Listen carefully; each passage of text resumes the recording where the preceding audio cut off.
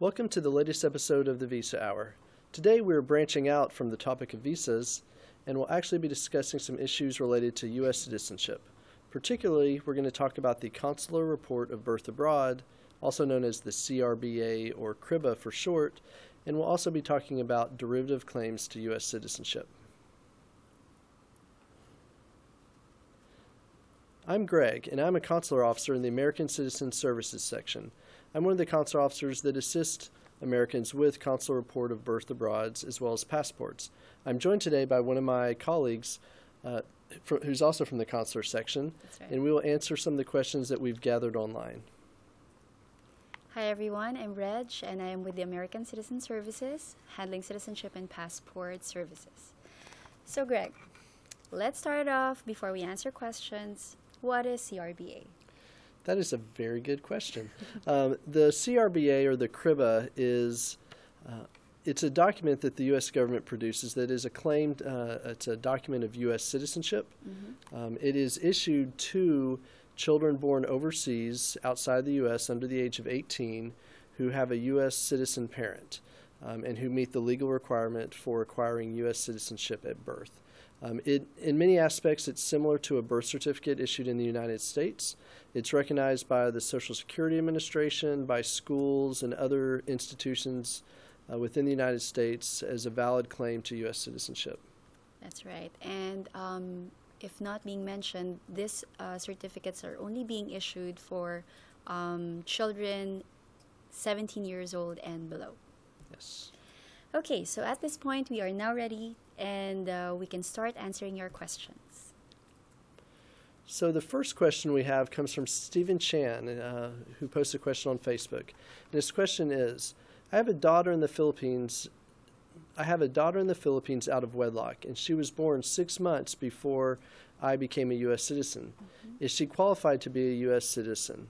And if not, are there other forms I can complete? Um, the the short answer to that question is um, no. She does not qualify for U.S. citizenship at birth. That's Uh, the reason is in order to qualify for a CRIBA, in order to qualify as a U.S. citizen at birth, uh, one of the parents has to be a documented U.S. citizen by the time the child is born. Um, that does not mean that she may never become a U.S. citizen, but it is not through birth. There uh, other avenues of immigration that might lead to U.S. citizenship, but she won't be eligible for receiving a consular report of birth abroad. That's right. And so we have another one from Art Mascardo on Twitter. My two year old grandson is natural born US citizen and his parents are H 1B visa holder. Will they be deported when their H 1B expires? I'm not sure this is, well, I think this is not a CRBA related Yes. question, but Greg? Uh, yeah, this is definitely a visa related question Okay. um, and also dealing with uh, deportation, which is handled uh, by the Department of Homeland Security. Um, I would recommend uh, that you submit this question uh, via email to our, our non immigrant visa unit. Um, they are the ones that could give you a little more insight into that. Uh, we don't want to give any wrong information uh, on this topic because I understand it. It's an important topic to people, um, but uh, that I would I would suggest submitting it online and you can get a, a more complete answer. So our next question uh, from email uh, states, how can I make an appointment for a CRIBA or an adult derivative application? Reg, what's the best way they can do that? Well, actually, there's only one way for you to have an appointment for the CRBA or Adult Derivative Application, and that is if you visit our website and go to the link of the American Citizen Services. So, our website address is www.manila.usembassy.state.gov. When you get to that site, you look for the tab where it says U.S. Citizen Services. You click on that, a drop down list will appear. You click either Consular Report of Birth Abroad application or derivative citizenship. And from there on, that link will show you how you could actually book an appointment to uh, file for the application with uh, the U.S. Embassy for CRBA. Okay, so our next question is your online system shows that all appointment slots are blocked and, or full, which is uh, always. so, can I call your office to book an appointment? Can they, Greg? Uh, unfortunately, we, we do a lot of these appointments, and, and people often do see that the uh, that our online calendar is full. We we do open up new appointments on a regular basis. Yes. Um, we if it's an emergency situation, you can um, attempt to call or, or come by the embassy, but as a general rule, we operate on appointment system only. And uh, because of that, um, the best thing to do is to go online. If you're having technical problems with the scheduling website or if you have an emergency, uh, then yes, you can contact us and we can do our best to help you. And not only that, as a reminder, if ever you've already booked an appointment and you accidentally booked uh, a double double appointment, please do contact the American Citizen Services section to inform the, us of this because that slot will have to be open to the public for them to make use of it. Um, or if in any case you think you will not be able to make it on your um, booked appointment, uh, please do let us know either by calling us or sending us an email and we'll open or we'll cancel that appointment for you so that the other people can use it. And our next question, uh, similar question, can I come to the embassy without an appointment? Um, again, we discourage uh, people coming without appointments just because our services are offered on an appointment basis. Um, but again, if there's an emergency or if you're an American citizen who does have a question, um, then we can um, we can talk to you. We may not be able to accommodate you that same day, but we can at least uh, give you some instructions on the best way to proceed. Great. Oh, and before that, let me just correct uh, the website address that I've given earlier. The right address is www.manila.usembassy.gov. Again, that's www.manila.usembassy.gov. Okay. Okay, so our next question would be from an email um, and I am, and this is the this is the question. I am the, a U.S. citizen parent, but I won't be in the country on the day of the appointment.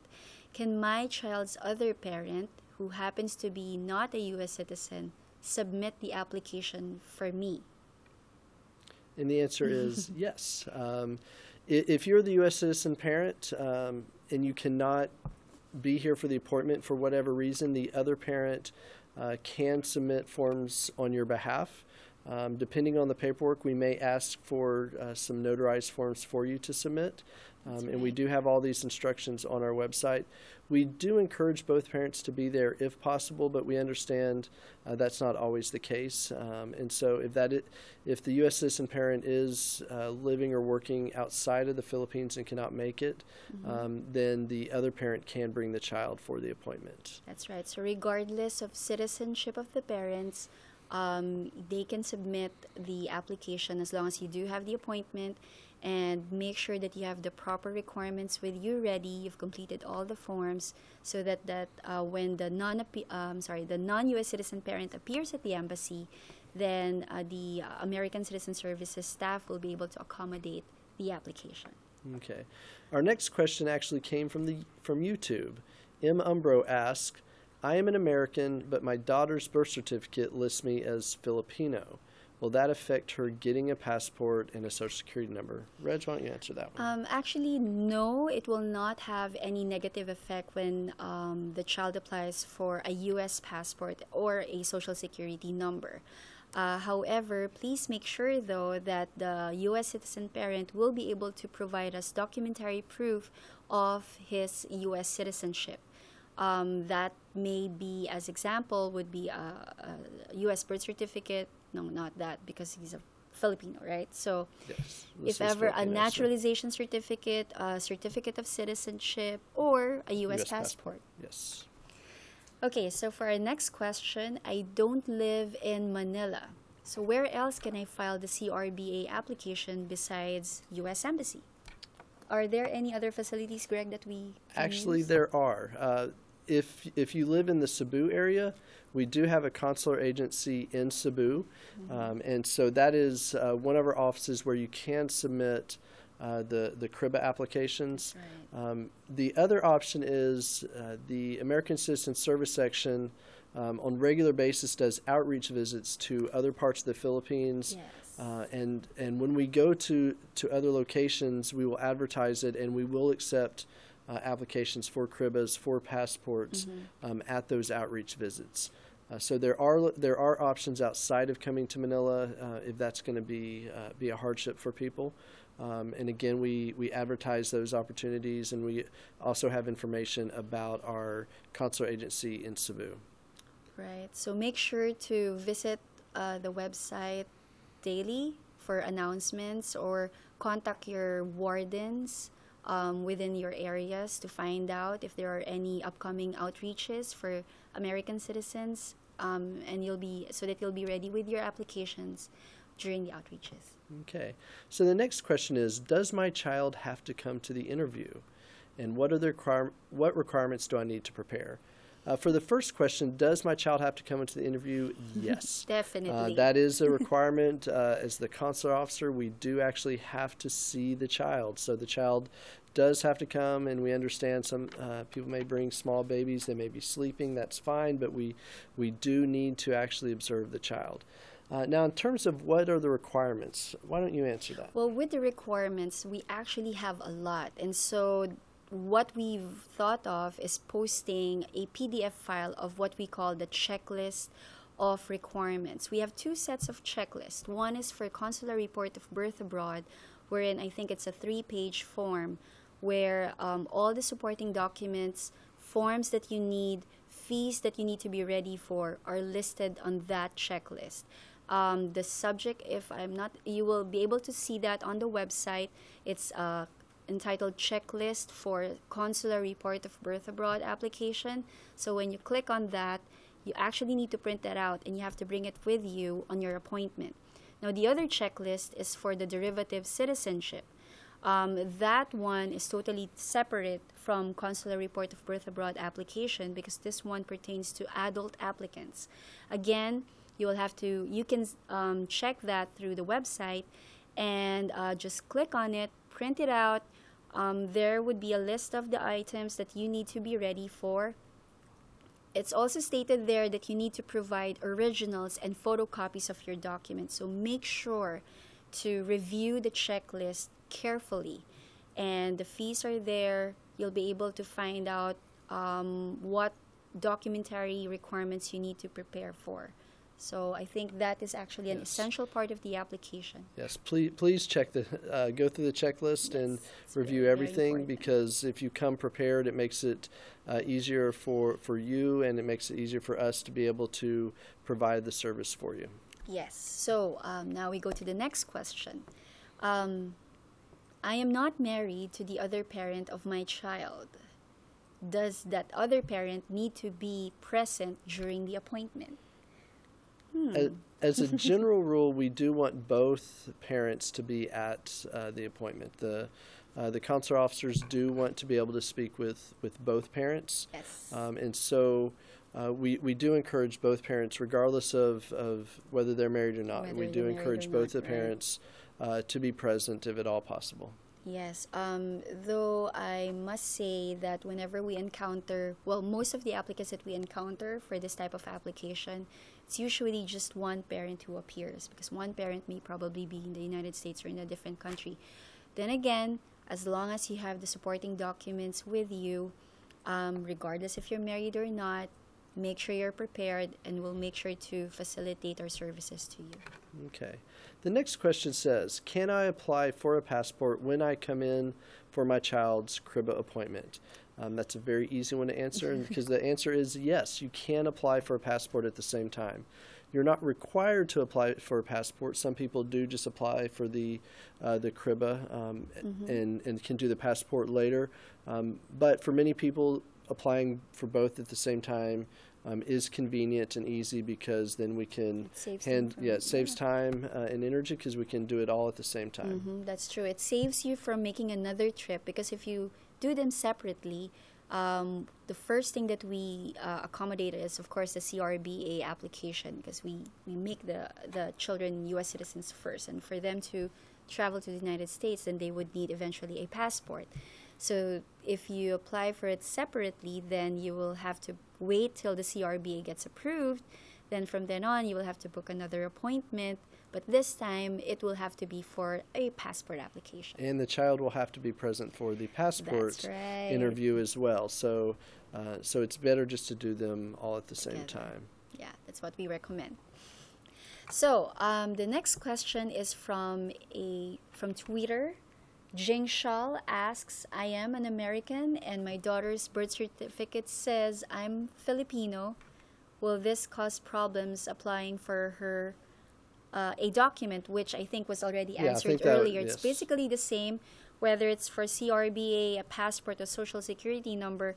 um, whatever is on the birth certificate, if it says they're a Filipino national, as long as you can prove that you are a U.S. citizen, show that to us, and we'll actually just refer on what document you're showing.